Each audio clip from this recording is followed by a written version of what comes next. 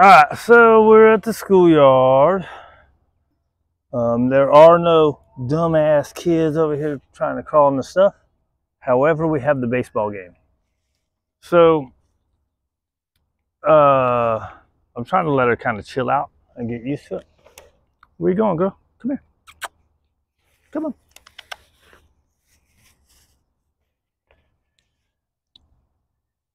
Right. So, hold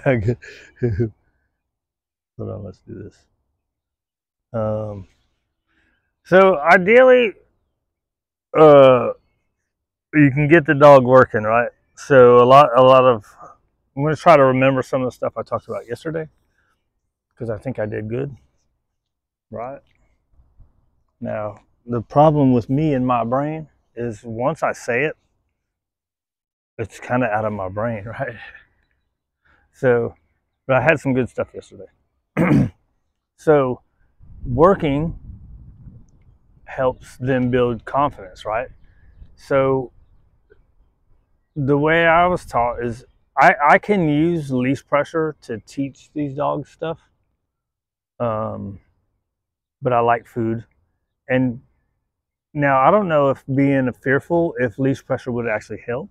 I, I know leash pressure helps overexcited dogs when you're trying to work because it helps calm them down.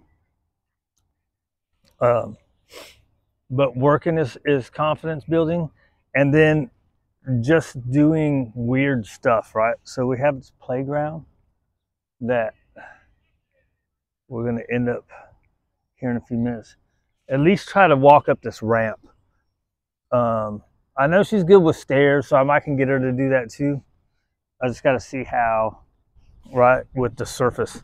Now, it's another one that, in order to help it, so as she's kind of going side to side, I'm just not letting her go farther out. Um, here comes somebody with a little dog.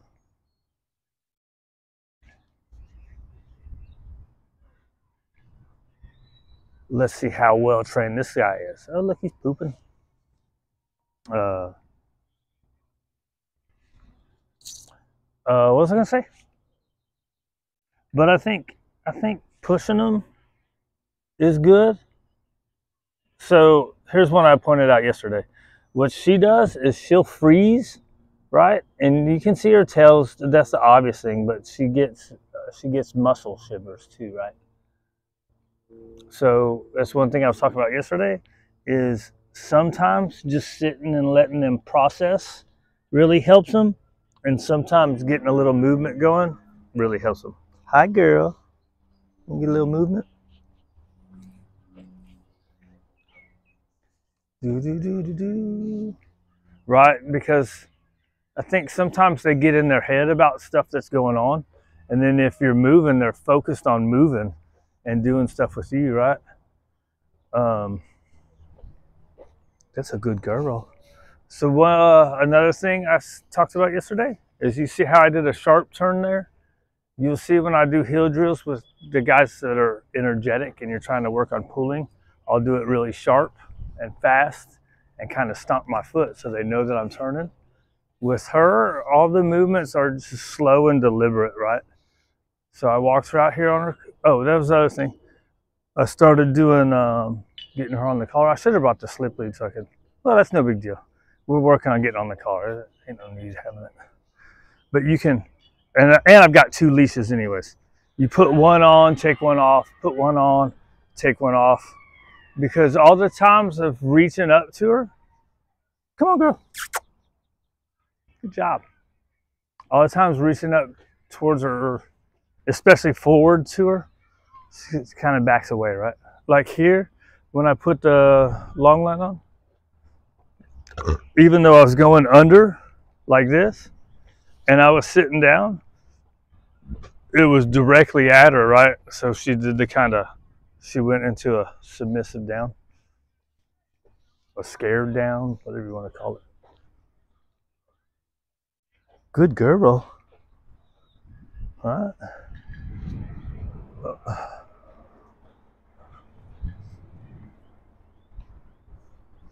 You want to get away from all them rowdy ass kids, huh? They're not that rowdy. Come on, girl. They're not that rowdy.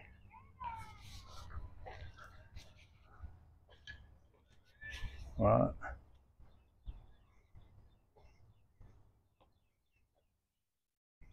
So I was hoping to get her kind of a little bit chilled out. Okay.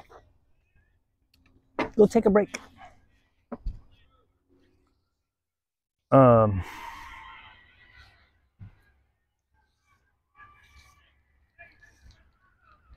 see that right there? I'm, I'm sure you guys could hear it when they kind of yelled out earlier. She started walking off and away. So she's still, her tail's down and kind of to the side. She's got a little, her ears flapping backwards and forwards, yawns. She needs to be moving, right? So let's see right here. Let's see if we can go ahead and go up and do this thing.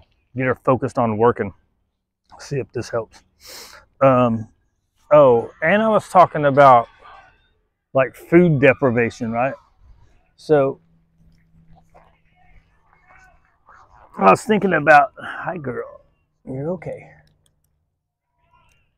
About feeding her even less. I'm only giving her about half a portion. Who's that? That's a good girl. You want to try to walk on this weird shit? Well, it's supposed to be good for you. She's like, fuck that, dude. I want to get out of here. She came out uh, from the crate real easy this morning. She had to poop, but she came out right now really easy too. Right? So I think that's another thing I was talking about is there's going to be stuff that gets better, right? And you'll see improvement and improvement, and then something will happen, and then you're going to go backwards, right? So the key is to have more forwards than backwards, and hopefully the backwards. So here's another one. So this is a pinch point thing right here. This is something that's pretty big for. Um, it's we've been getting through all these doorways and then as soon as we kind of get through she'll kind of speed up and before she was speeding up and going off to hide now she's speeding up and kind of stopping and turning sideways so these are things that are improvements right come on come on you're okay and that's another one uh, i saw some lady talking about uh she's like everybody says not to talk Come on, girl. Come on. So I'm going to add a little pressure.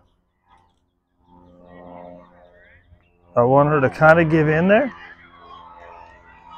I'll take it. So I'm going to take the pressure off. So uh, this lady's like, they say not to talk to your dog when they're scared, but I do. And so first off, the dog that she had was not scared. The dog that she had was probably a six to seven, eight month old, uh, what do they call English retrievers, white golden retrievers. Um, so the reason I don't want to go back right now is I'd have to walk by her, and I want her. I want to see if she'll chill out a little bit. I don't want her to get stuck in this, but I want to see if she'll chill out a little bit before I put more pressure on her by going over to her. right? So this is a weird one because it's a long pinch point. Uh, let's see. Maybe if I go on that red one over there, because it's stairs. She does good with the stairs, right? So she picks her head up. I'm I'm cool with that. So now let's let's get off of here, right? And we can relieve the pressure. We'll come over here. We'll let her sniff. Um, so so anyways, the pinch point usually it's just a doorway, right? This is a long one. I didn't think about this until we started doing it, right? So here I'm gonna walk over here. Let's just go walk around it. Let's just go, maybe I should have done more walk around it first too, right? Sometimes you do that, you get, well, here's some stuff we can walk through, right? Little pinch points that go nowhere.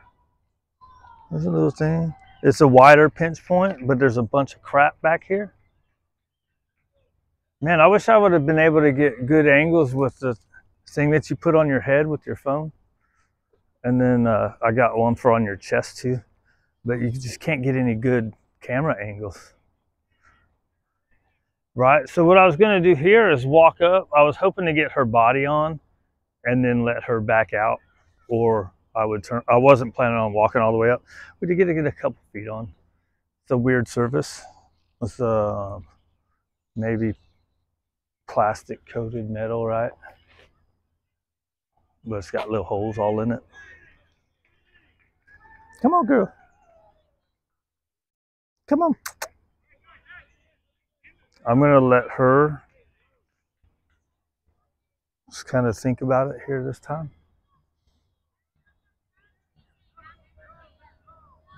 I want her to at least get her feet on it though.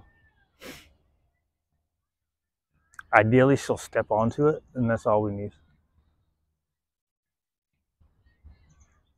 So when I put the pressure before, let's see if some uh, movement helps her. Come on, girl. Come on. Now let's get a little pressure. Just get her feet on it and take the pressure off. And we'll just stand here. Right, so now she's not got her head on the ground, right? So to me, that's an improvement, right? The first time she had she had her head down on her feet, right?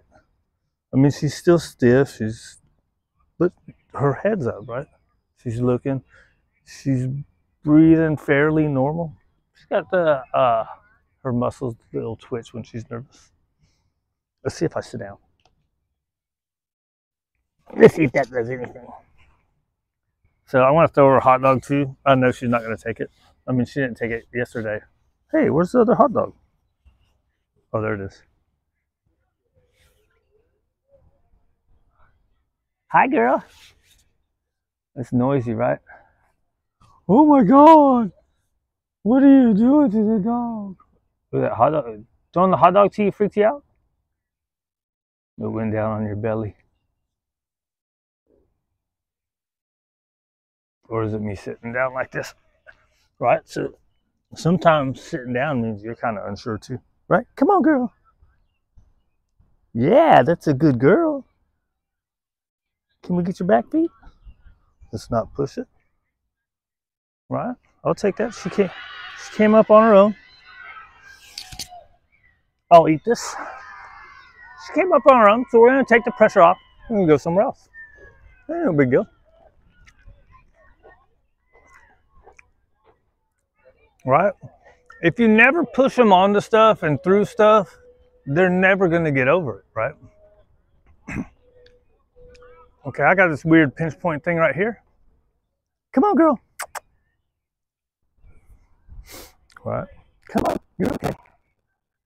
So back to the lady saying, come on. Come on. Saying she talks to her fearful dog. First off, it wasn't a fearful dog. It was a puppy that a noise happened and it backed up and it almost immediately went back forward. So it's like it wasn't shot. It's just ridiculous. But the puppy's tail was up. He had his open mouth. He's like, and his body was full, uh, standing up, normal, right? So let's go through this pinch point right here. Right, we got all kinds of little pinch points that are weird. Like back there, there's this stuff. It kind of goes like this, right? There's, it's wider, but there's stuff that goes like this and that's where we went to where she slowed down. But uh, what this lady didn't say is the tone with which she was talking to him, right? So she wasn't all, "Oh, come on, baby, you're gonna be okay." Did you like that voice? Because that's what people do. They think it's a consoling voice, but a lot of times with actual fearful dogs, when you're doing that, it's not good. I'll usually try to do a softer voice or what I tend to call a girly voice. Um, just to see. And if it helps, it helps. If it doesn't, then I stop doing it. Want a hot dog? No interest at all, huh?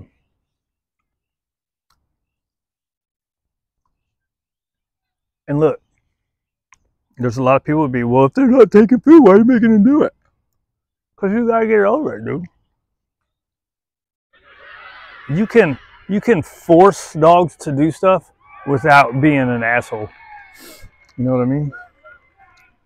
Let's see. Ready? Come on. Come on, girl. Yeah, that's a good girl. So I'm gonna give her a second and then not sticking it. Come on, girl. Come on. Get a little motion. Let's do a little bit of pressure. We got our back feet on. Pressure's gonna come off. It's okay. All right.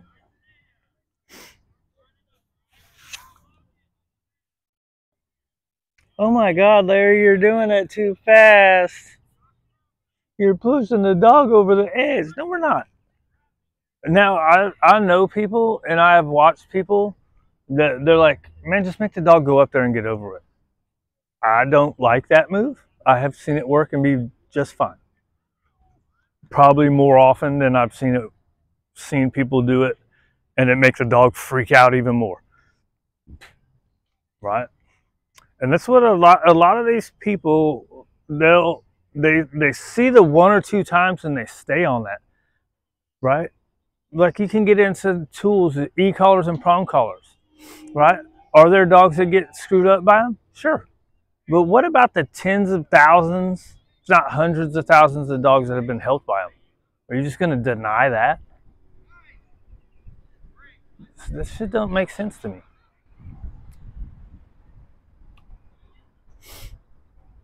So a lot I don't want to sit here too long.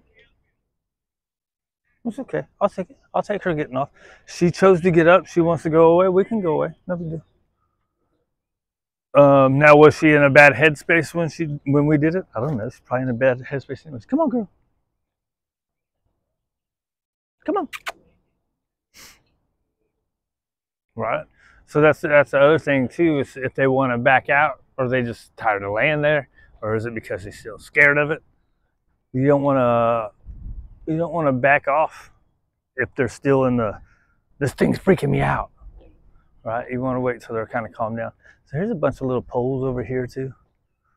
Uh, I think that might be much. One, two, maybe if I go in between this. Here, let's go into the slide. It's not that scary. Well, I guess it kind of is. Come on, girl. It's wider. It's just a thing going over the head. Uh-oh. Let me see if I can fit under there. With my old, my old butt bending down. Let's see if we, let's see how far we can walk up on this thing.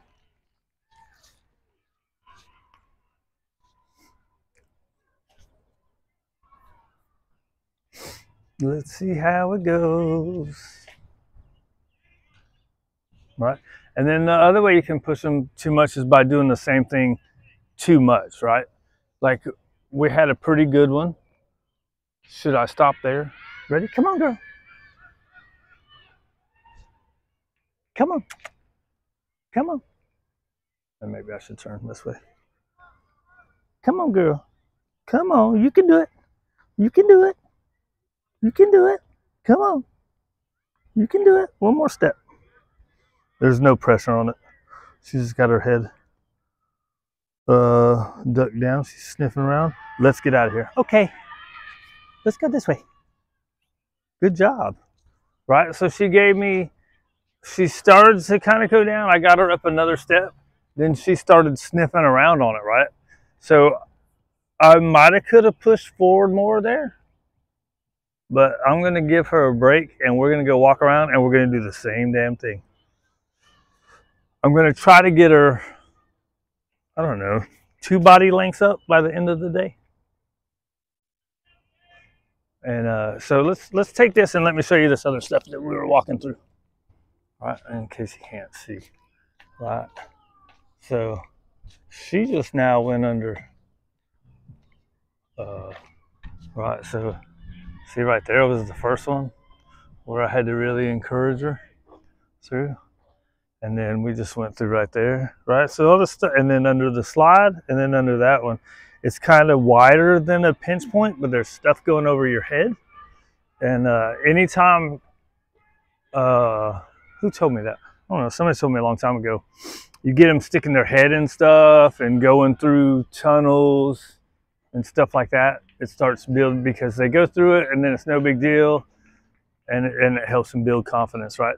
So I'm gonna come over here. Come here, girl. Come on. She didn't want to go through that pinch point. That's the big old wide one. So let's go, let's go let you have some free walk. What you think? Here you go. You're okay. You're okay. No biggie. All right, so when you talk to them, I should have done that a little bit slower. That's no big deal. She's already laying down um, when you're talking to them, it's the energy with which you talk to them, right? You want to be real neutral. If they're down here, you want to be neutral so they come up to that. Once they get neutral, then once they get more neutral, then you can go into your encouraging voice and start making it a more happy thing. A lot of times when you use your happy voice or what, you know, they just see it as you're being a weirdo and it freaks them out. Right? Again, depending on the level of where they're freaked out at, right? Oh, good girl. Took a little step towards me. I need to look at her back feet.